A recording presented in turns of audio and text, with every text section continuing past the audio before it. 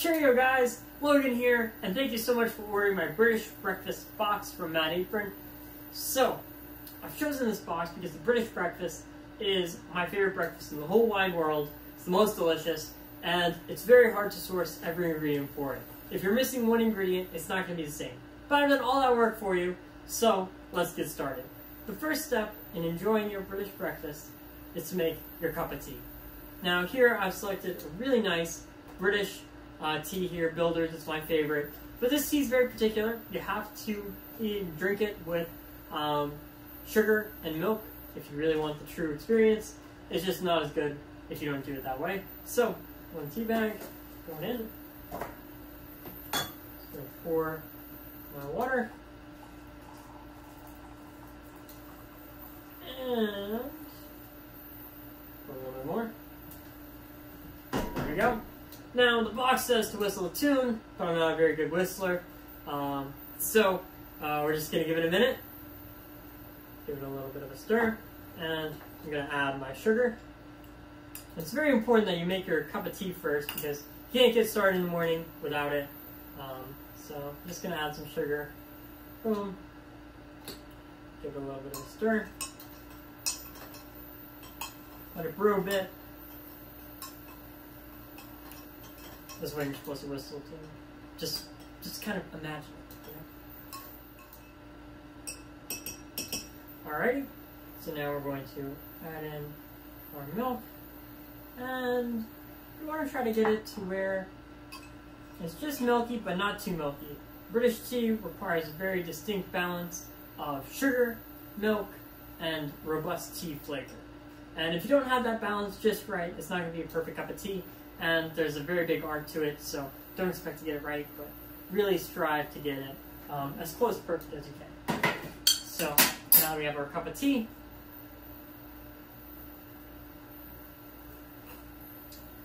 Mmm, great. Now we're ready to go. Now, I have my pan over here, getting hot, and it's time to talk about our ingredients that we're going to be using in this pan. This is going to be a three pan operation, so um, not the best for me with my one little induction burner, but we're going to make it happen. So you're going to want to take your breakfast sausages. Now, typically you'd be using a blood sausage here, but I don't much care for the blood sausage. So I'm just using regular breakfast sausage because I like it a lot more. Now, while those are cooking up, we're going to take our mushrooms here, and we're just going to clean these up a little bit. Turn up our heat. And so you're just going to want to take your mushroom. These are nice little mushrooms. Now you're going to want to chop off the ends. Um, just try to clean them up a little bit. Um, and other things, try to make them look all proper.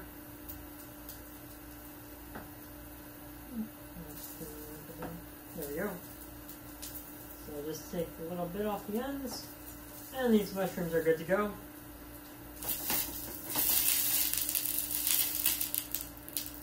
And I'm actually going to add a little bit of butter.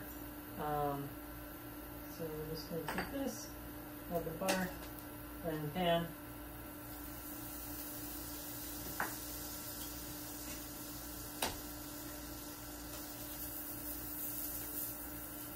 So, one of the reasons why I haven't added my mushrooms yet is because my sausages are going to take a little while to cook, and I want to make sure that I don't drop my mushrooms too soon and have them get to be the wrong texture.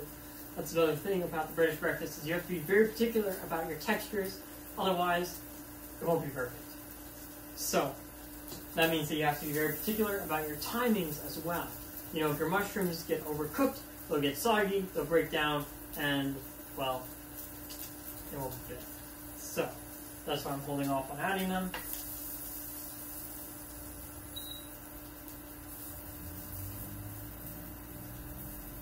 Now some of my other ingredients I'm going to be adding to this pan a little bit later are these beautiful heirloom tomatoes. Now I'm actually going to cut these in half because they are a little bit big and I'm going to sear them off in the same pan over here because this could be nice searing pan.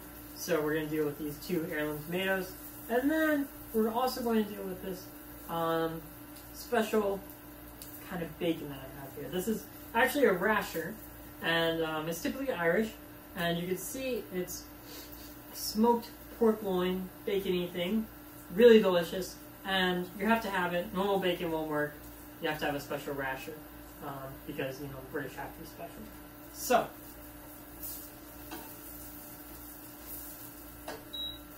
Just gonna give these a little bit longer in the pan, and then we can add in our other ingredients. Alright guys, so our sausages are just about ready for the rest of the ingredients to be added. So we're just going to take our mushrooms, I'm just going to toss them in there. Now that our mushrooms are in there and they've blistered a little bit, we're going to prep out our tomatoes here. Now you're going to want to take out the stems. Um, they may be pretty, but uh, you don't want to eat them. They're pretty hard. So you just kind of want to grab them, kind of remove them. And just kind of twist, boom. Once again, with everything in the British breakfast, it has to be very nice and proper. So make sure that you line it up, get a nice slice, boom. Beautiful slice on tomato. And we're just going to slap that right in there, and it's going to sear up and warm all the way through. That's one of the things about this is you want to make sure that your tomatoes and mushrooms get warm all the way through and get a nice sear. So we're going to cut our other one in half. Boom. Beautiful heirloom tomatoes. And then we're also going to add in our rashers from over here. Our smoked pork loin. And they're just going to go right in.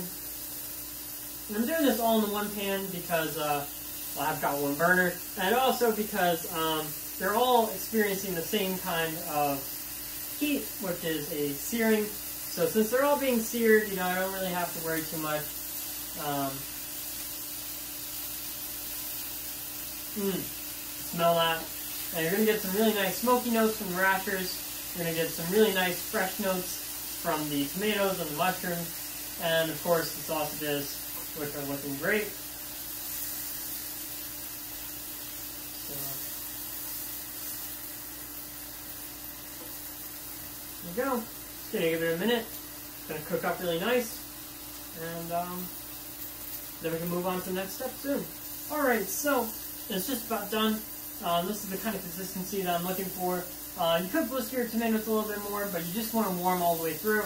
And maybe just a nice little bit of a sear on the one side.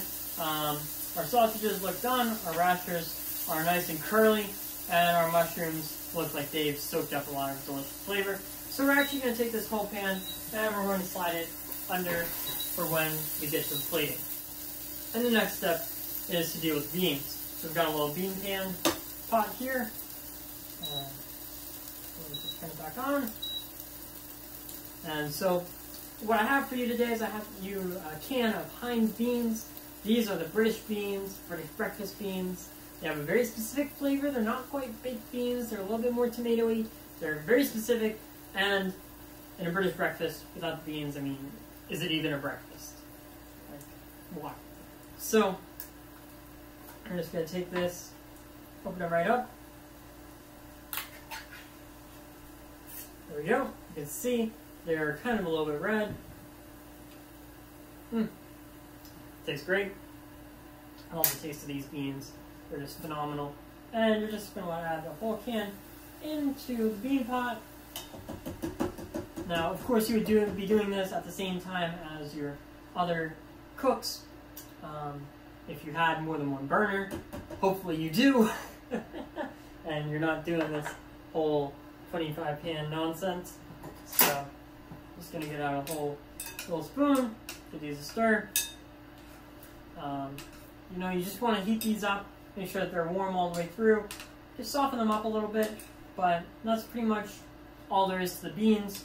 They're very important in the whole composition of the breakfast because they add um, this kind of sauce-like element and uh, this certain British flavor and British charm to the whole breakfast.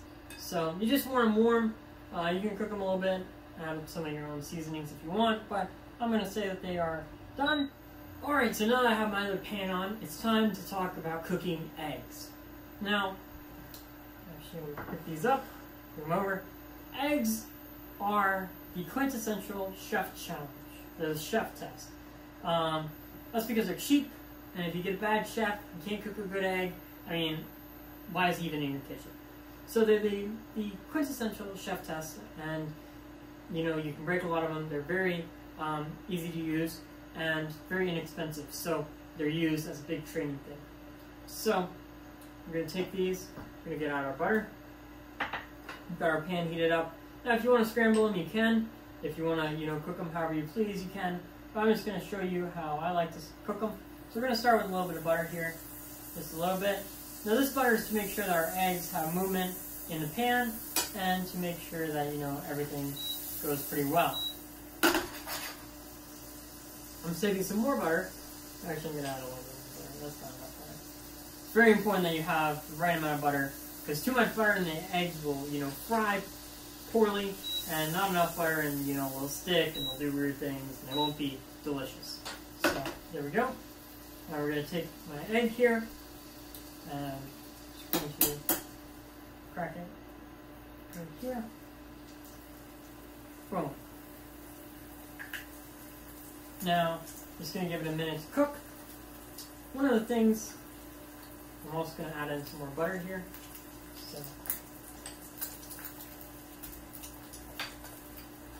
it's very important that you have enough butter in your pan for cooking the egg. So you can see I've got a really nice looking sunny side up egg right now, but it isn't perfectly cooked because it's still got this really, the second layer of white. So what you want to do is you want to try to baste that second layer of white. And that's why you want to add in a lot of butter. So I'm just going to add in the rest of my pat of butter.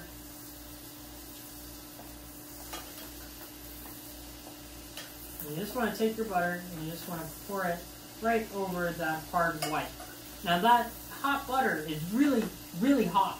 So it will actually cook some of that white and will leave the yolk relatively runny, which is one of the secrets to sunny side up eggs.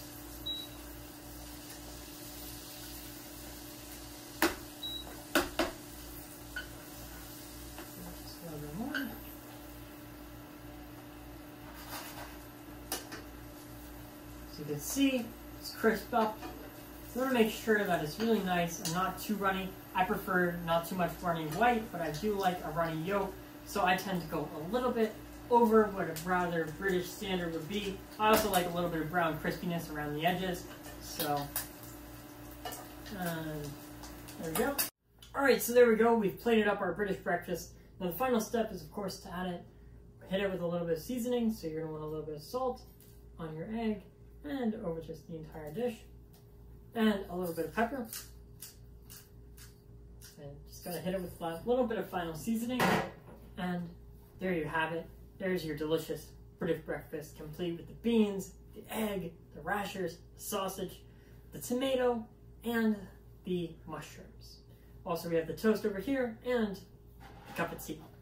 So, I really hope that you enjoyed this Mad Apron box. I really hope that you enjoyed cooking this British breakfast with me. And I'll see you on the next one. Cheers.